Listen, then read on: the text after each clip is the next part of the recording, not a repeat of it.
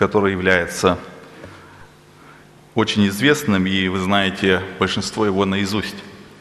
Книга Псалтырь, 36 глава, стих 5, 4 и 5 стихи. «Утешайся Господом, и Он исполнит желание сердца твоего. Предай Господу путь твой, и уповай на Него, и Он совершит».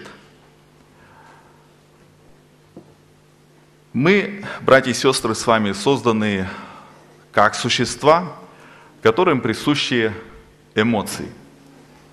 Эмоции бывают приятные, бывают очень неприятные.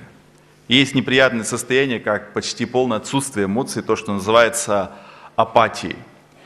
И вот этот наш внутренний эмоциональный мир очень изменчив. И сегодня такое время, когда люди просто готовы идти далеко или платить много за то, чтобы кто-то преобразил или улучшил их эмоциональный мир и дал им так называемый позитив. Для этого существуют сегодня или во многом трудятся средства массовой информации, разные шоу, развлечения и так далее.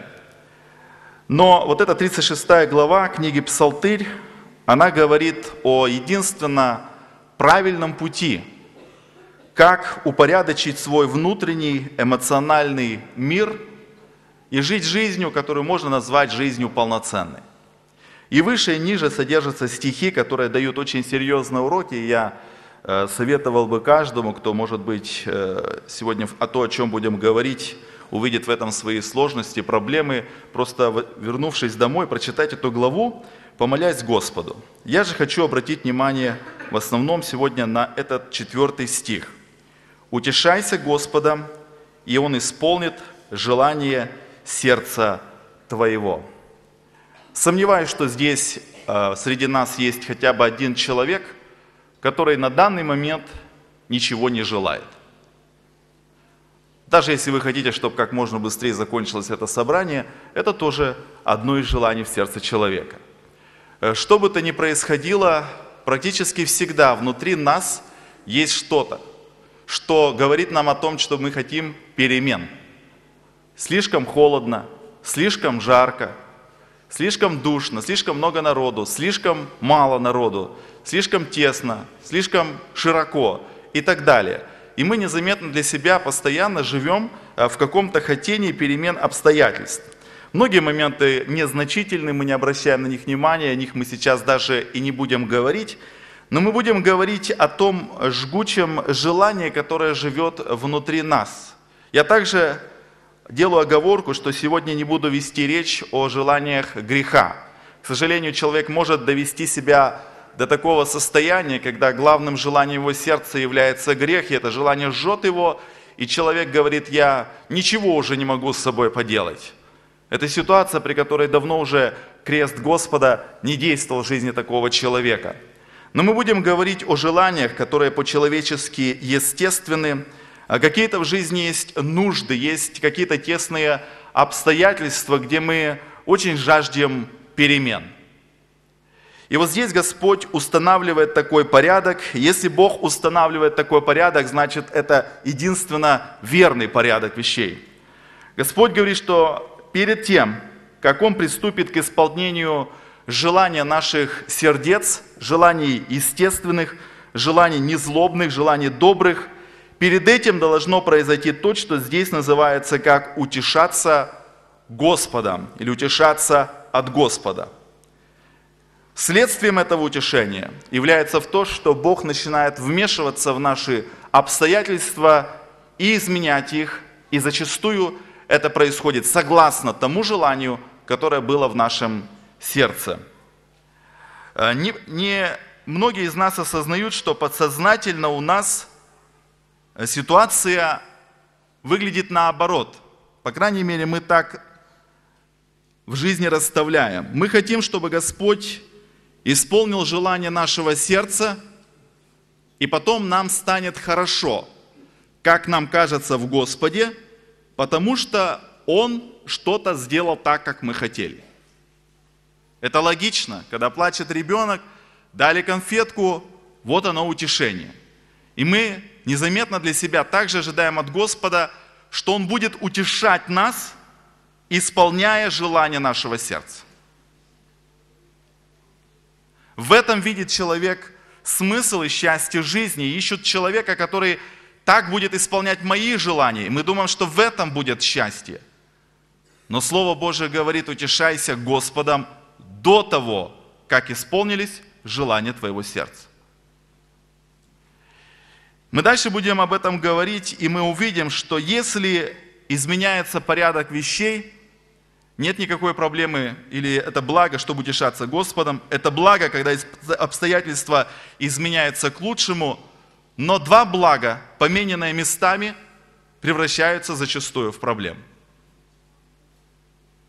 Если в технологическом процессе или в приготовлении пищи поменять местами какие-то детали – Э, как вот, ну, я умею делать только четыре блюда, и одно из них это глазунья. И однажды я разбил яйцо, и вместо привычного такого приятного раскатывания вот этой белка по сковородке, я вдруг увидел, как оно немножко так сдвинулось и застыло. Какое-то не странное какое-то было движение. И потом я понял, что я забыл помазать сковородку маслом. Глазунья была не очень вкусная, но представьте себе, я скажу так, никаких проблем. Масло съедобно, яйцо съедобно. Сначала яйцо, потом масло. И сверху на глазуни мы можем ну, полить подсолнечного масла. И с той полуневозможной глазуни она станет совсем невозможной для поедания глазунью вообще. И причем мы с вами не говорим о том, что насыпали крысиного яда или цианистого калия – или там банку перцу, мы вложили туда все то, что там быть должно, но поменяли местами. И два блага, поменянных местами, превращают э, блюдо в проблему. И здесь то же самое, братья и сестры, когда мы, христиане, сначала ожидаем исполнения желания нашего сердца, чтобы потом так и быть утешаться Господом, мы никогда не заживем той жизнью, которую Бог для нас предусмотрел. Итак, в чем же, собственно, ситуация? Знаете, борьба с обстоятельствами, которые есть в нашей жизни, я еще сделаю одну оговорку. Когда мы слушаем э, проповедь, мы обычно все-таки получаем некие такие общие направления для размышления. Есть очень много каких-то отдельных ситуаций, где у Бога есть некий особый, уникальный промысел, и бывает, что общие правила для этой ситуации не совсем подходят. И поэтому я делаю эту оговорку, чтобы мы всегда мыслили особо с советом от Господа о том, что происходит у нас. Итак, у нас в жизни есть что-то, что нам не нравится. Э, Библия говорит о том, что смирение не характеризуется тем, что я должен смотреть на то, как течет крыша моего дома и говорить себе, у других еще хуже. И молиться и просить у Господа утешения в том, что потолок отсырел, уже нарастает грибок – и вы понимаете, что вам грозят материальные убытки, и вы говорите, я смиренно принимаю от жизни то, что она мне преподносит. К счастью, никто или почти никто из нас так не делает. Мы видим то, что находится в нашей власти, в наших силах, и мы это пытаемся исправить. И Священное Писание говорит, это нормально. Можешь воспользоваться лучшим, что сделай? Воспользуйся. Но есть особенные ситуации, когда мы чувствуем, что изменение вот этих обстоятельств, сражение с ними очень почему-то отнимает много сил и при этом безрезультатно. Мы забросили много сфер своей жизни, очень важных сфер, пытаясь исправить вот это одно единственное обстоятельство, и у нас ничего не получается, и это уже повод и причина задуматься – и второе, когда изменение нежеланных для нас обстоятельств связано со сквернением совести. Мы можем изменить эти обстоятельства, но мы должны переступить какую-то из Божьих заповедей. Э, во втором случае, о котором я сказал, мы просто не должны никаких вариантов греховных в жизни никогда рассматривать. Библия говорит, почитайте себя мертвыми для греха. Павел говорит, я хвалюсь крестом Господа Иисуса, которым для меня мир распят, и я для мира. Мы не рассматриваем греховные варианты решения никакой проблемы. Во первом случае, когда мы видим, что э, наше сражение, наша битва просто вытягивает из нас все соки, и у нас заброшены все остальные сферы жизни, это причина задуматься о чем-то. И дальше мы посмотрим на три сферы. Я хочу предложить э, три сферы жизни, э, где вот это может у нас происходить и обнаруживаться. Первое – это попытка улучшить материальное благосостояние. Хорошо это или плохо? Смотря что будет дальше. Правильно думайте. А, попытки улучшить материальное благосостояние являются естественным и добрым желанием каждого, ну, скажем, семьянина, человека, который заботится о своем доме. Но, опять-таки, мы встречаемся с такими моментами, где мы чувствуем, что что-то нам не под силу. И вот здесь мы идем одним из двух путей. Первый путь мы начинаем изо всех сил бросать туда все свои собственные ресурсы. Второе, мы, как здесь написано, утешаемся Господом и говорим, Господь, мы отдаем Тебе наши обстоятельства в руку и просим Тебя помочь нам. И как узнать себя в том, здравое ли у меня отношение к а, построению материальной жизни? А, когда у человека нездравое отношение к материальным благам, у него в голове такая мысль – вот если бы у меня было так или так, я был бы счастливым человеком. Всякая привязка сердечного счастья к изменению материальных благ является иллюзией и самообманом.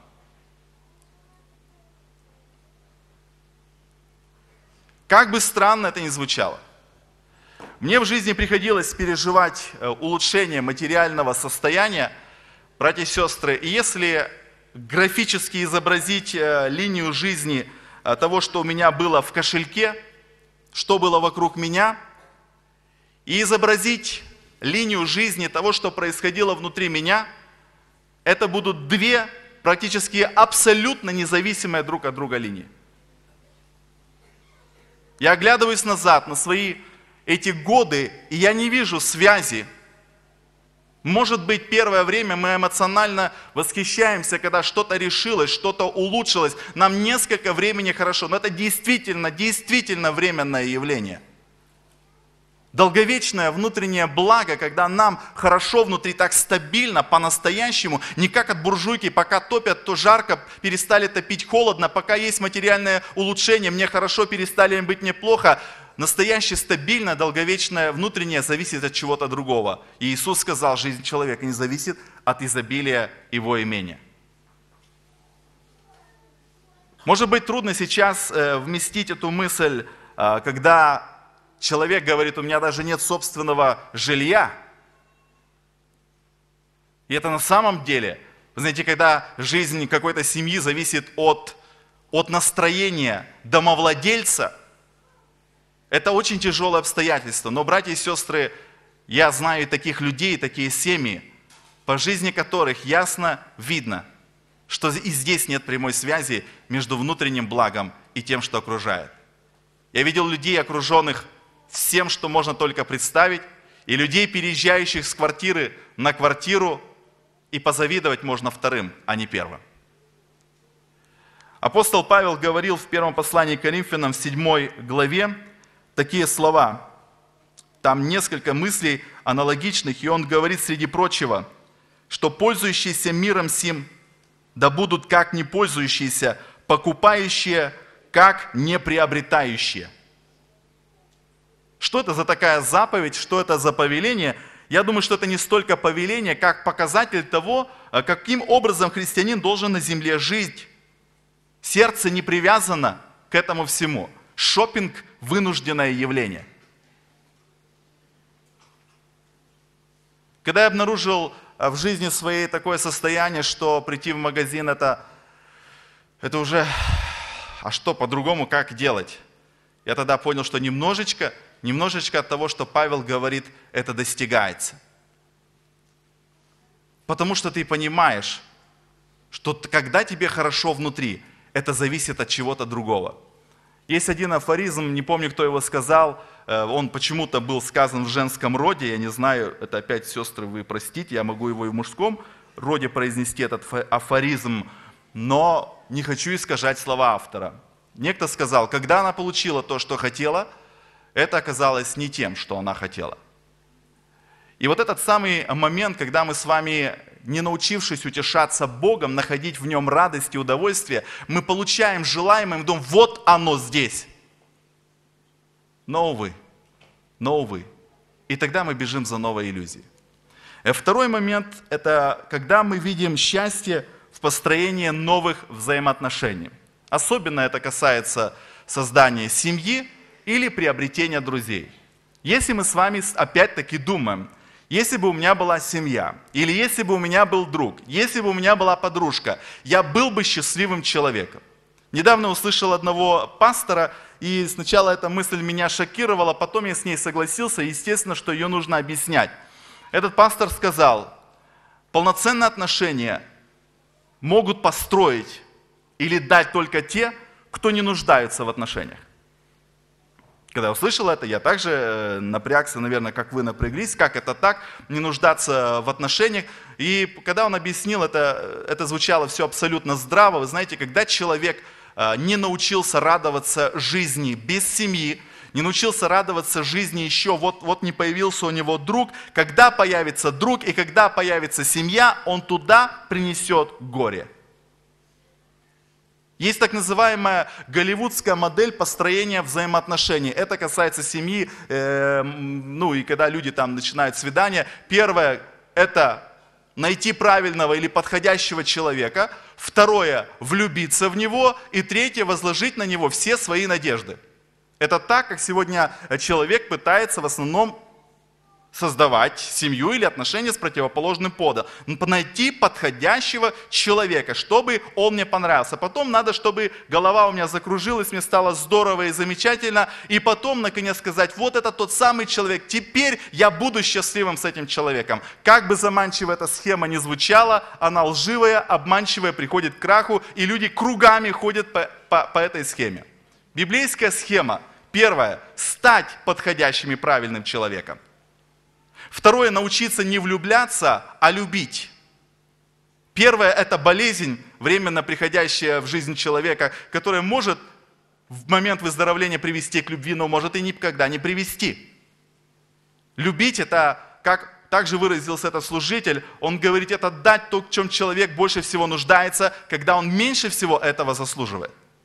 Вот это научиться любить. И третье, возложить все свои надежды на Бога. Когда мы вступаем в дружбу или создаем семью, и мы говорим, вот теперь, наконец-то, исполнилось мое желание. Я был несчастным человеком, теперь у меня есть друг, теперь у меня есть жена, теперь у меня есть муж, теперь мне будет здорово. Возложить надежду на человека рядом стоящего, это значит заранее подготовить себя к великим разочарованиям. Если до приобретения друга и до создания семьи я не научился находить радость в Боге, я не найду радость ни в друге, ни в подруге, ни в семье. Но я буду вытягивать жизненные силы из тех, кто рядом со мной. Я положился на них, я сел на них. Им будет очень тяжело со мной. И поэтому даже когда в нашу жизнь приходит желанная перемена в плане приобретения желанных нами отношений, благо не пришло, если мы до этого не научились находить радость и утешение в Боге. И последний, третий момент, такой духовный момент, служение. Мне не раз приходилось слышать такие слова.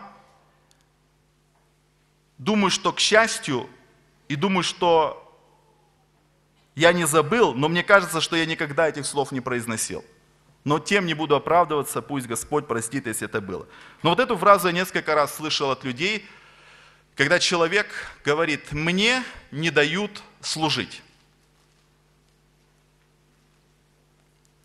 Много лет я слышал это выражение от людей, которые предпринимали какие-то духовные инициативы, что-то пытались сделать, и всегда в голове у меня раздавался какой-то какой звон от этих слов, я понимал, что тут что-то ужасно не так, но в то же время, когда человек имеет инициативу и ее подавляет, вроде бы как бы и слова-то соответствуют действительности эти все.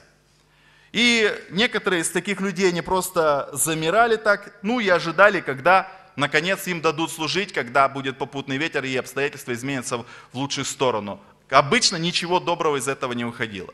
Через некоторое время мне стало понятно, что за фразы «мне не дают служить» это верхушка айсберга, там, там на дне огромная, огромная проблема.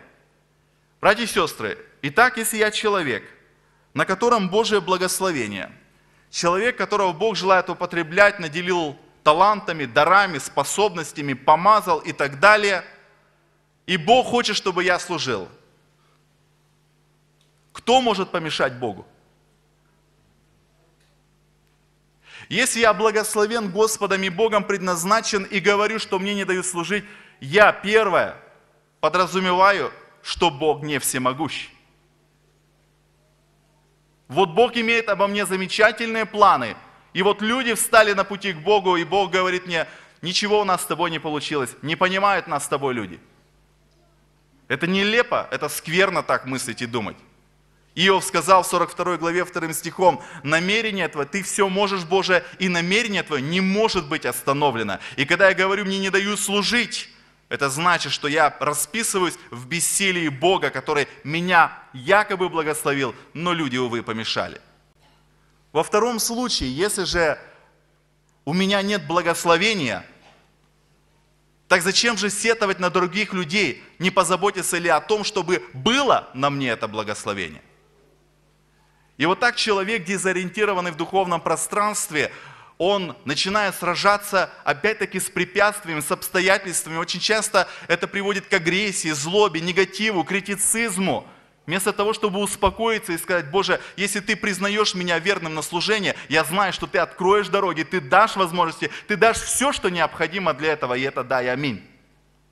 Давид и Иосиф в тот самый момент оказались на нужном месте, когда Бог это определил и не раньше – Елизавета и Авраам получили своих детей в тот самый момент, когда были приготовлены, когда Бог это определил, и не раньше. И у нас, братья и сестры, с вами всемогущий Бог. И у него нет никаких проблем изменить наши обстоятельства. У него есть проблема с тем, что у нас внутри вот здесь.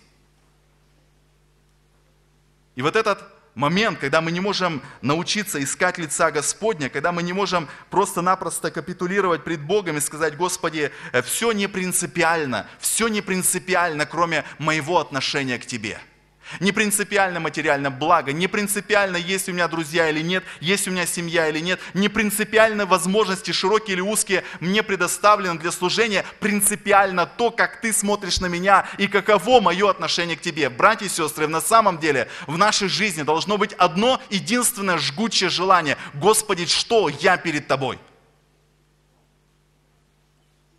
Одно единственное желание, которое озадачивает нас, беспокоит нас – желание быть таким, каким Бог хочет видеть меня. И когда Бог сражался с Яком, вы помните, в лице ангела, и с одной стороны не мог победить его, а с другой стороны потом коснулся, и бедро ему повредил, сразу же победил его, это говорит о том, что у Бога две есть борьбы. Одна с обстоятельствами, где он просто прикасается, и все в одну секунду меняется, а в другая с нашей гордыней, с нашим самолюбием, себелюбием внутри нас, которое он не может победить. Почему? Потому что мы защищаем и прячем его изо всех сил свои собственные представления о жизни, свое собственное представление о том, что Бог должен делать. Мы сохраним как сокровище, как сундук, мы сидим на нем, и у нас под, под, под, под двустволке в каждой руке. Кто-нибудь да не смей посягнуть на мою уже наклевывающуюся замечательную судьбу.